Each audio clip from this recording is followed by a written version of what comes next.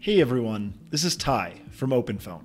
And in this video, I'm gonna break down what a virtual phone number is and how to get one in a few simple steps. A virtual phone number lets you access a phone number from a computer or a smartphone. In other words, virtual phone numbers are cloud-based, so you can actually use them anywhere with an internet connection. Just log into your cloud phone system on your phone or computer, and you can call and text your contacts. Using a virtual phone number comes with plenty of amazing benefits for businesses. Many businesses choose a virtual phone number because they aren't tied to a specific cell phone or device. Instead, virtual phone numbers can be used on many devices, often by multiple teammates from almost anywhere in the world. This means you can share access to a single number throughout your team.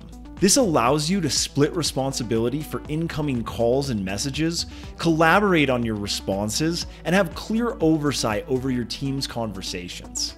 Virtual phone numbers also offer advanced messaging features like auto replies, snippets, or scheduled messages, which you won't find in a traditional phone system. You can use things like integrations to get a full view of the conversation your team has over the phone and email. For example, your sales team could automatically log their calls and messages uh, via a CRM integration so that your team has all the context they need when talking to their customers at their fingertips. Now, the biggest benefit? Well, virtual phone numbers are often more affordable than traditional phone numbers because you don't have to spend all that extra cash on hardware or installation. You can just use it directly on the devices you already own. Getting a virtual phone number is easy. Let me show you how. OpenPhone is a virtual phone system that you can use with your team to stay on top of all of your business conversations and support your customers. Here's how you can get a virtual phone number with OpenPhone in just a few steps.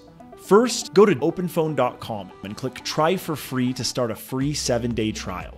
You can either continue by signing in with an existing Google account or entering an email address to sign up. I'm going to go ahead and enter an email address.